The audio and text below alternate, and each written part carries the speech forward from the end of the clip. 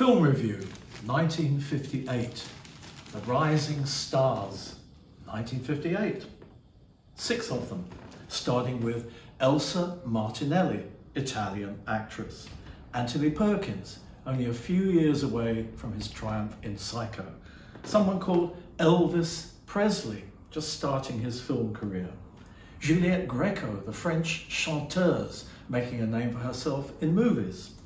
The Finnish ballerina and actress Taina Elg.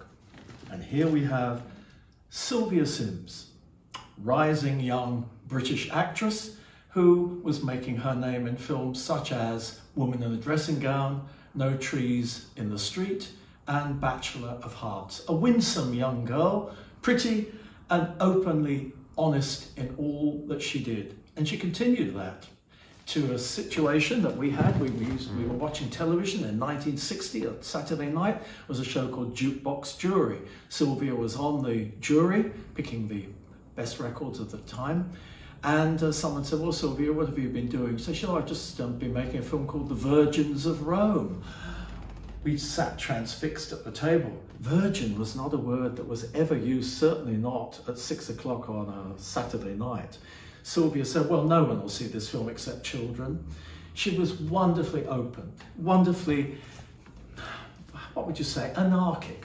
There was a weekly magazine called Picturegoer, and she was interviewed by its editor, and she said, I've never been on the cover of Picturegoer and burst into. And then, of course, the editor could see that she was rocking with laughter. She didn't care whether she was on the cover of Picturegoer wearing some scanty outfit. She was an actress. She wasn't just some pin-up girl. She, of course, changed a lot of people's minds about a very important subject in 1961 when she co-starred with Dirk Bogarde in Victim playing his confused and conflicted wife. It was a tremendous performance and it certainly adds so much to the veracity of the film. That same year she made a film about colour prejudice called Flame in the Streets.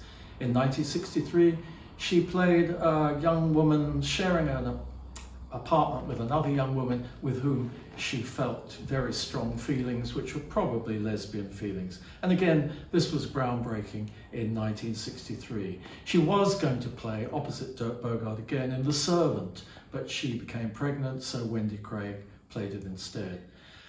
Sylvia was really born just a little bit too early she missed out really on some very meaty roles that were given to actresses in the mid to late 60s. I think she could have played Lara in Dr. Zhivago. She could have been Bathsheba in Far From the Madding Crowd. She could have been in Fahrenheit 451.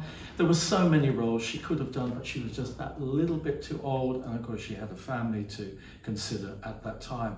So she didn't really burst into the great stardom that some of these other people did. However, she maintained a very steady pace on television, in some films, and on stage. In 1974, she received her third BAFTA nomination. Nomination, mind you, not, uh, not uh, winning the award. It was for a film called The Tamarind Seed, in which she played the wife of uh, a closeted gay man.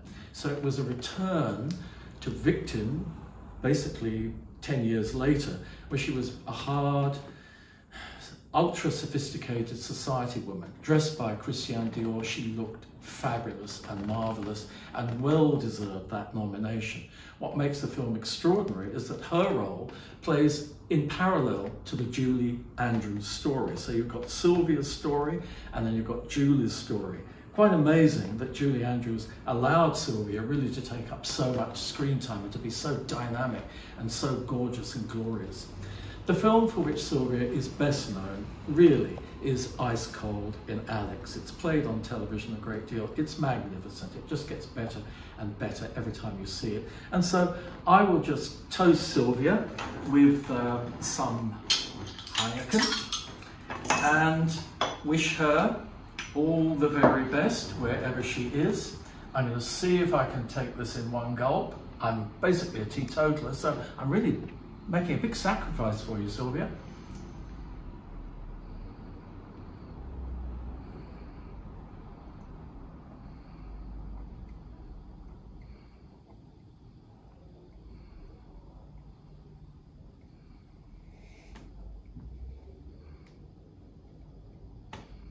Thank you, Sylvia, for creating the one very important thing an artist can do is increasing our understanding of why we are, what we are, why we do what we do.